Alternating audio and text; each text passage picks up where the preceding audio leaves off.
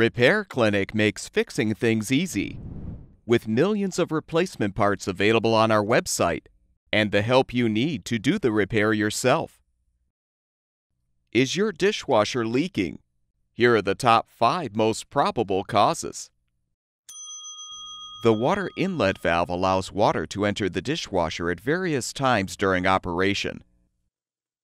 A defective inlet valve may get stuck in the open position, overfilling the dishwasher and causing it to leak.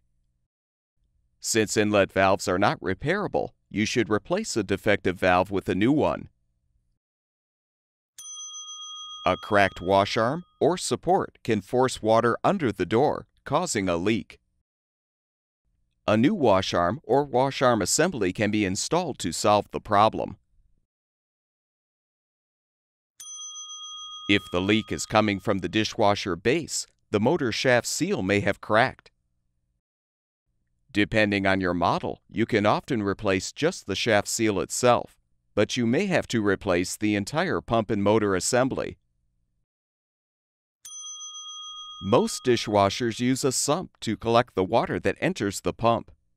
A damaged sump seal or pump gasket can also result in a water leak and will require the defective component to be replaced. To help identify a dishwasher base leak, we recommend using a drain pan floor mat that will divert any leaking water to the front of the dishwasher. Over time, the dishwasher door gasket may lose its ability to seal the door properly, allowing water to leak out. You can easily install a new gasket to eliminate the leaking.